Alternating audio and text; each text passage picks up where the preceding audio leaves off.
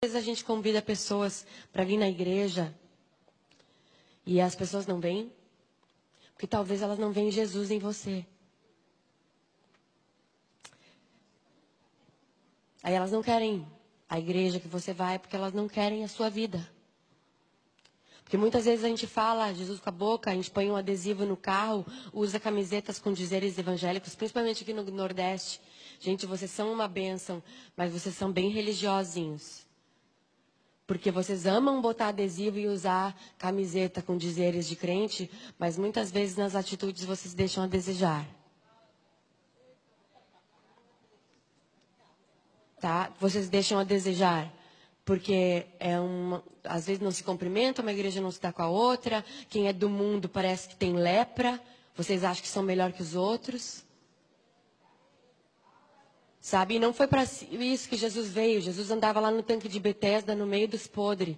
Pensa no, no, cheirinho bom que tinha o tanque de Betesda. Ninguém tomava banho. Tinha paralítico. O que, que paralítico faz? Cocô na calça. Tem ninguém para limpar. E Jesus estava lá. Claro que ele foi sozinho, porque os discípulos não iam com ele lá.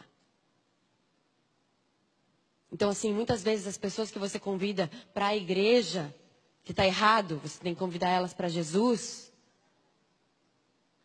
elas não veem Jesus em você. Porque nós somos a Bíblia que o mundo lê. E se, Jesus, e se as pessoas não estão vendo Jesus em você, elas não querem o teu Jesus. Então, se você não, tá, não tem um, um testemunho com a sua vida, não com as suas palavras, que falar, tá cheio de gente que fala, vê a política aí, fala, fala, não tem crédito. Se você não, não tem testemunho com a sua vida, fica na sua. Não queima o filme de Jesus, não. Porque já tem um monte de gente queimando o filme dele aí, por aí. Não seja você mais um. Se você dá mau testemunho no trânsito, arranca teu adesivo. Para depois um ímpio não dizer, tá vendo? É, ainda é crente.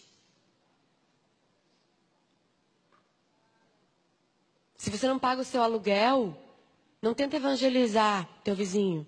Se tu é atrasado teu condomínio e todo mundo sabe na reunião do condomínio que tu é crente da igreja, não tenta convidar o teu, teu vizinho para vir.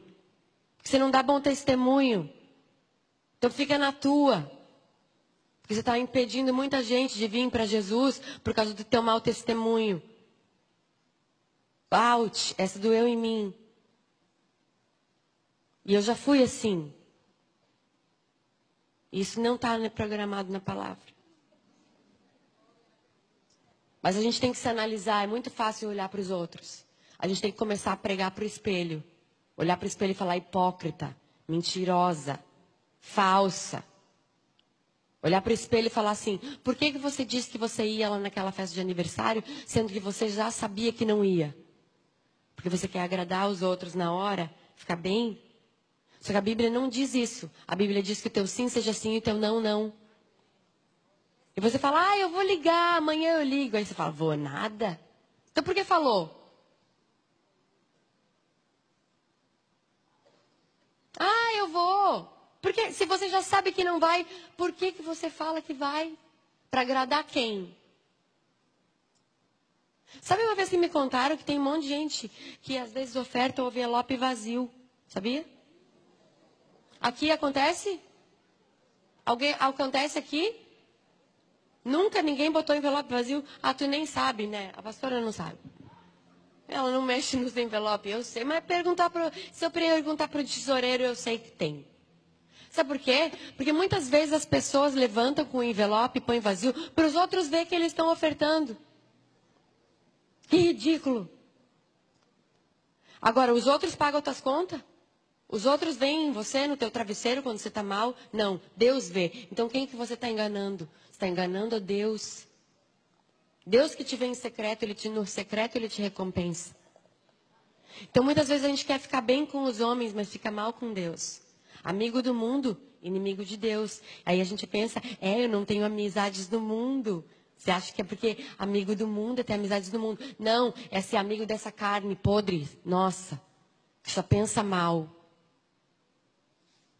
Agrada a Deus. E muitas vezes a gente vai ter que ficar mal com o homem. Eu tenho essa Bíblia. Eu quero contar o testemunho antes da gente entrar na palavra. E essa